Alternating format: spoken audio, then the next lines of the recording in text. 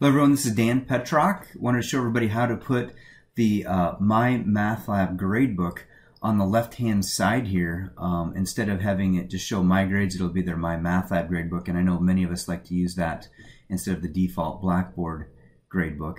Uh, and the way I do this is um, I go to Tools, and I go to Pearson MyLab and Mastering, and I just go ahead and add uh, the gradebook to my course content. So I just click My Stat Lab gradebook, and obviously you can link to anything, uh, even assignments now within this, and I hit Submit, and then uh, since I've already done this, I'm just going to go back to course content, and you'll see at the very bottom of my course content, it says there's a gradebook, the My Stat Lab gradebook.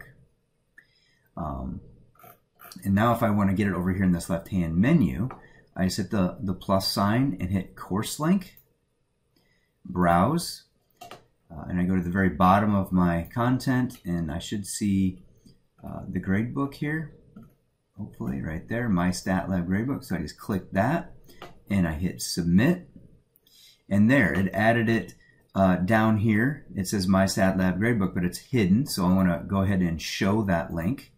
And notice I've gone ahead and hidden the default uh, gradebook from my math lab. So I just, I just hit, you know, I can show it. And then if I go here, I'm going to hide it. So I'm going to hide that.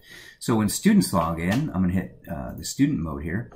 It just, they see my Stat Lab gradebooks. When they click on that, they'll know that's where all their grades are. And any of the grades that I have from discussions or other things that um, come through the Blackboard gradebook, I manually input those into my Stat Lab gradebook. So hope this short video shows you how um, you can use your uh, web enhanced, uh, web blended, or online uh, course that uses my math lab to use their gradebook in uh, a good design for students so they just know where to go to find their grades.